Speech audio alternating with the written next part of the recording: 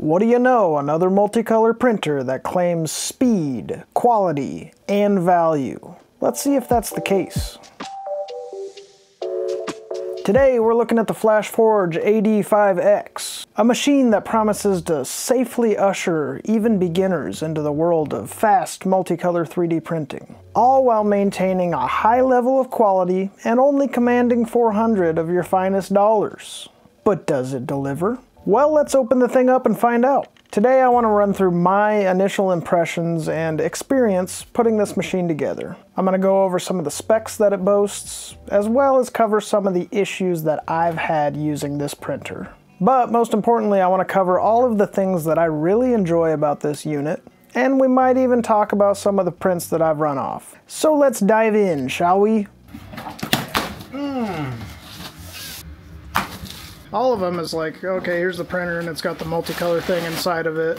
This one's multicolor and it's a little bit different. Here we go. This printer is a box that comes inside of another box. As we move inside of that box, we're met with something that we find on a lot of these machines, a bunch of foam and a bunch of plastic. Everything seems to be well wrapped and it comes out fairly easily, and my immediate impressions are very positive. Dude, it's such a cute little... I didn't realize this was an open frame machine. It is like a little tiny baby. The machine's an open frame Core XY printer with a super cute build volume of 220 by 220 by 220. It is a little bit smaller than the more common 250 cube that we're seeing on most printers these days, and it shows.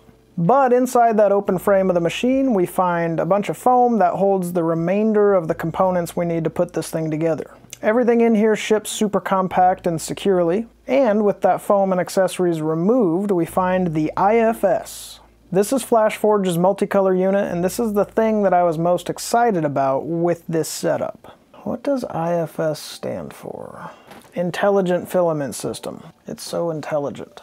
Anyway, Creality's got the CFS, Bambu has the AMS, Anycubic has the ACE, Qidi has the Qidi box. They just called it the Qidi box. I like that. You like that? But FlashForge has the IFS. Now with all these multicolor Core XY printers coming out recently, it's cool to come across one that's approaching the market just a little bit differently. But more on that later, let's put everything together here. Four little elbows.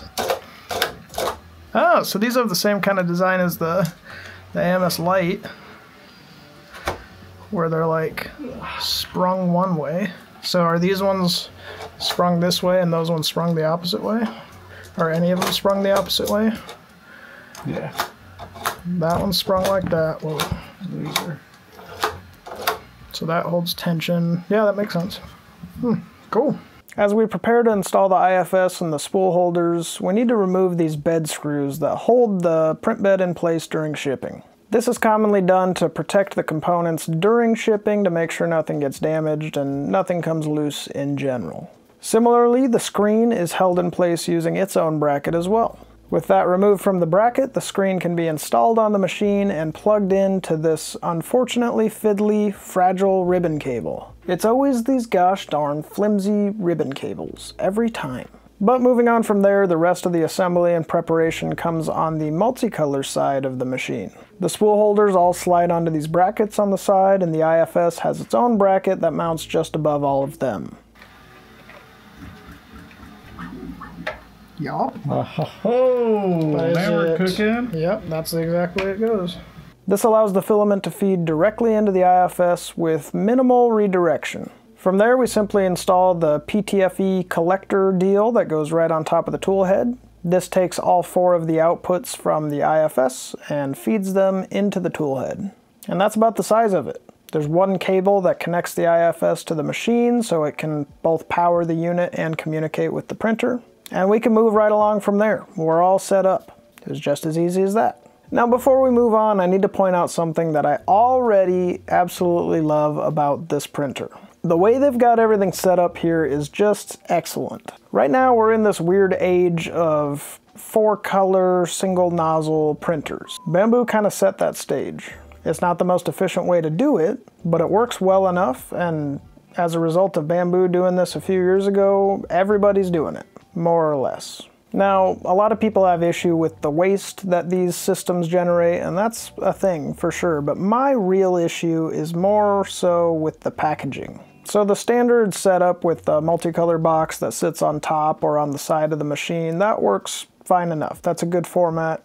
It's clean, it packages well, still produces a lot of waste, but it works.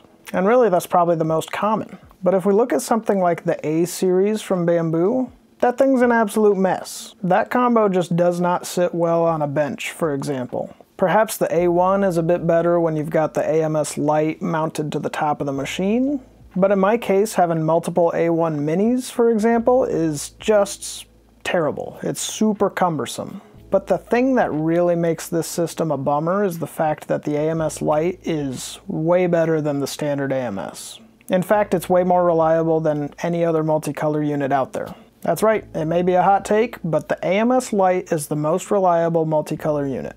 You can fight me. But what I mean when I say that is the spools are mounted by these spokes here. They're mounted from the center of the spool instead of relying on the multicolor unit to roll the spool from the outside. And I can't tell you how many print hours I've missed out on because I had a machine pause overnight just because there was an issue with the spool rolling properly or not retracting correctly because it couldn't roll right. Especially using cardboard spools, I have a lot of reliability issues, but the first year that I owned my Bambu AMS and P1S combo, I didn't have any issues with cardboard spools. You all commented about how you need adapter rings and how do you print with cardboard spools and I have these issues and blah blah blah. I never had any issues. I thought you all were crazy. Well, you know what? That jinxed me. It ruined my perfect run. Because now I've got nothing but issues using cardboard spools in my AMSs. Doesn't matter if it's an AMS, a CFS, an ACE, all of them. Issues with cardboard spools. That was never a problem, but you guys brought this on. Where was I going with this? Oh yeah, the AMS Lite uses these spokes to mount the spool from the center. The FlashForge AD5X also does a similar thing, and it is so good. It's so good. It's fantastic. But then they took it a step further and made it even better by mounting these spokes to the side of the printer. So not only do we get the super reliable method of dispensing and retracting filament by using the spokes instead of rolling the roll, the packaging concerns with the other system that uses this kind of setup aren't even a problem because it's just mounted to the side of the printer. It sits there as one complete compact unit. What an excellent idea. I am such a fan of this. We're not even talking about how this thing prints yet, and I'm totally a fan. And that's coming from a Bambu fanboy. If you're a Bambu fanboy and you want a Team Bambu shirt like this one I'm wearing, you can go to keoprints.com and get you one. If you hate Bambu and you want a Never Bambu shirt, you can also get one of those at keoprints.com. We're inclusive. All right, quickly, let's talk about numbers. We already touched on the build volume of 220 cubed, but what else do we have going on here? Well, there's a hot end that melts plastic. In fact, it'll melt plastic up to 300 degrees Celsius. And that bed that we spoke about heats up to 110 Celsius. Now that's all kind of standard, but it's also important to talk about some of the things that are missing from this machine when we're talking about specs. For example, this machine does not come with an enclosure. Although FlashForge did send me this upgrade kit that encloses the machine. Let me know if you'd like to see me throw that together in a future video on this printer. Also, this machine doesn't come with a camera, which is kind of atypical of this segment of product these days. But aside from those items, we've got the usual kit. We've got a tool head that's got the filament cutter, along with the regular sensors for bed leveling, filament runout, acceleration for vibration compensation and stuff.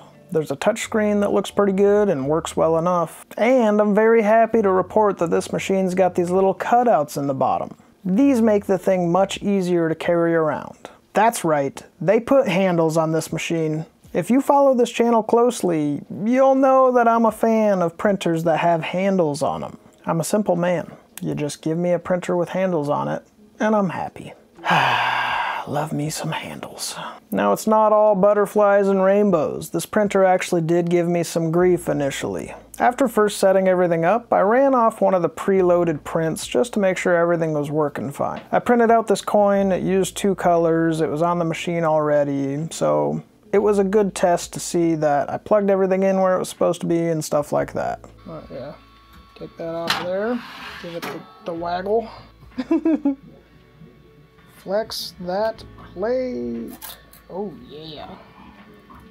Oh, oh. Hey. Well, so uh, yeah, it's two colors. It is two colors. You know what? It turned out pretty clean. It only took 10 to 15 minutes. It was a great result. But the issue started when I decided to hop into Orca Slicer and send my own prints to the machine. Um, the short version is that did not work. The machine connected well enough to Orca Slicer, but the IFS didn't quite communicate properly. So basically what happened was nothing would print in multicolor correctly. I mean, all the toolpaths were there because it was a multicolor print, but it wouldn't actually change colors. Of course, after switching to Orca FlashForge, this was remedied, though that came with its own issues and I'll cover those in just a second.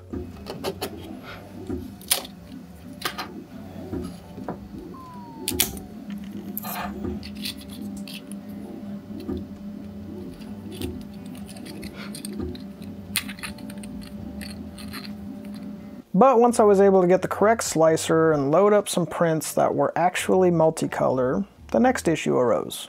For some reason I kept getting this error. So I ended up speaking with my contact at FlashForge and after a little bit of back and forth and trial and error,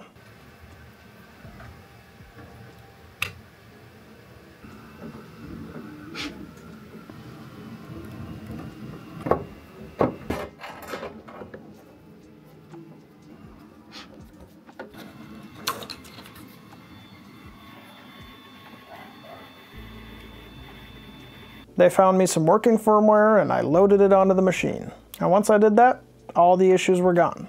In fact, this marked the end of the issues that I had with this printer. Like, it fixed the problem, and then the following hundreds of hours that I've done since that issue have been flawless. I don't want to speak too soon since this is kind of an initial impressions video, not a full review, but I was expecting to have more issues since I was met with issues right off the bat. And there just weren't any more. Like, that was it. And these prints are coming out super well. So again, I'm gonna really try and stress it out and do a little bit more printing before I talk about the quality of these prints more in depth. But so far I'm very impressed with the quality I am getting. Like, surprisingly impressed. Unfortunately, I need to talk about something that is not good. Orca FlashForge, let's talk about that for a second, shall we? You guys probably know how I feel about reskinned slicers. And if you don't, you should know that I don't like them. I think if a company wants to rip off Bambu or Prusa Slicer or Orca Slicer and just put their colors over the top of it, may as well just use the original slicer instead of putting their name on the reskinned version of it. I can hear the comments now. Ooh, Bambu ripped off Prusa Slicer. Oh, Prusa Slicer ripped off Super Slicer. Blah, blah, blah, blah, blah. But often the issue we have here with these quick reskins is you get a slicer that has fewer features or runs slower or a combination of all of that. And unfortunately, Orca FlashForge has been no exception for me. I don't want to stay in the weeds too much because I've covered this a lot on my channel, but here are my main complaints with this specific one. The slicer had issues connecting to the printer and reliably staying connected to the printer. Once you log into a FlashForge account and you register the machine and connect it to the slicer, you can bind the printer so it becomes discoverable, and that works out just fine. Initially, this took me way too long to achieve, but the printer's connected now, and it works. Unfortunately, if you're like me, every time you jump back into the slicer, the machine may be recognized, but the IFS will not be. For whatever reason, my IFS is never updated in the slicer. The machine's there, but it just doesn't show any IFS information. However, I have found that if you interact with the machine inside of the slicer, it actually forces the IFS to update. For me, that just means I gotta flick the light off and on from the slicer and bam, we've got filament information from the IFS. That is to say, the device page has filament information. Which leads me to my next major complaint about the slicer, the lack of filament syncing across the device page and the prepare page. Usually, in the prepare tab, there's a filament sync option. That allows you to preview your print using the colors that are loaded onto the machine. That way, if you load new colors into the machine and update that information on the IFS, the changes are reflected while you're preparing your print or adding colorization or anything like that. And you know what? That makes a lot of sense. Well, for some reason, Orca FlashForge does not have a facility to sync your IFS information in the Device tab and the filament information in the Prepare tab. So unless I'm missing something, you just have to manually input your filament information in the Prepare tab so you can preview it using the information that you have loaded on the machine. So each time I just mirror the information in both places. And I mean, who doesn't want to do that twice, right? Right? But my final gripe is maybe a little bit nitpicky, I guess. It has to do with the dark mode support on this slicer. This may be specific to my setup because I'm using a MacBook with dark mode enabled by default, but this is an iOS version of Orca FlashForge, so I feel like there should be support for this. I don't know, maybe I'm asking a lot here. But seriously, look at this page. You can't actually tell what you're clicking on. You can't navigate anywhere because the background is white and the text is also white. And this is actually one of the biggest reasons why it took me so long to get this printer connected with the slicer. Again, maybe nitpicky, but this was a huge struggle for me. Let me know if I'm alone on that, because I feel like it's a very specific thing. Anyway, that's it. That's my rant against the reskin slicers. You guys have probably heard it before. As long as manufacturers are doing this stuff, I'm going to continue mentioning it. Now let's move on to some stuff that I like, because I really do like this printer, like a lot more than I thought I would. Now let's talk about printing. I'm not going to go too deep on this like I mentioned because this is an initial impressions video and not a full in-depth review. But I've been able to throw like 100 hours at this machine and I've got to say I'm very impressed.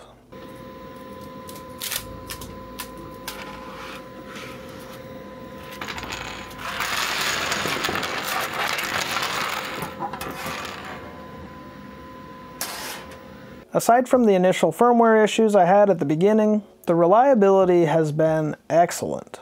I've been able to print orders for my Etsy store and maintain quality like my Bambu printers that I typically use. Team Bambu shirt, keoprints.com. The multicolor system appears to be absolutely rock solid, and you can tell when you look at some of the multicolor pieces I've pulled off of this printer so far. I'll dive deeper in future videos, but initial results here are incredibly positive.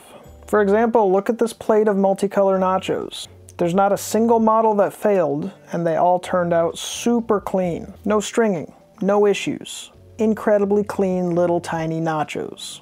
This print alone tells me how good this machine is because this is kind of a stress test. All of these individual little models with a tiny contact patch, and you add the complexity of multicolor on top of it, like this is not an easy thing to pull off this clean or this reliably. But the AD5X didn't skip a beat.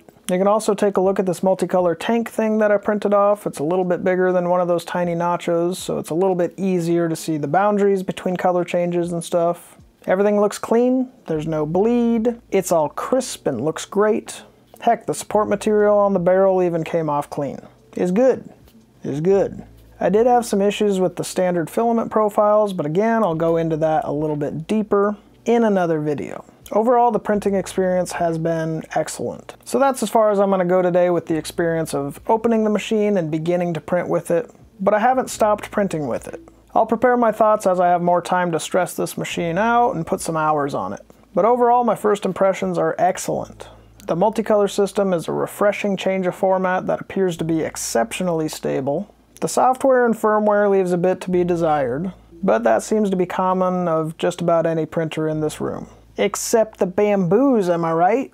I'm a Bambu fanboy. If you want your Team Bambu shirts like this, go to keoprints.com. If you hate Bambu and you want your Never Bambu shirts, go to keoprints.com. Then we can all like what we like and hate what we hate together. If you like what you're seeing in this video, check the affiliate links below. That's a great way to support this channel and help us continue to devote time to doing printer reviews and stuff like this. Check out our second channel, it's called You Like That, if you want to see more 3D printing content. And comment below what you want to see as I review this printer further. I've got a few videos lined up already, so you're going to be seeing more of it on the channel.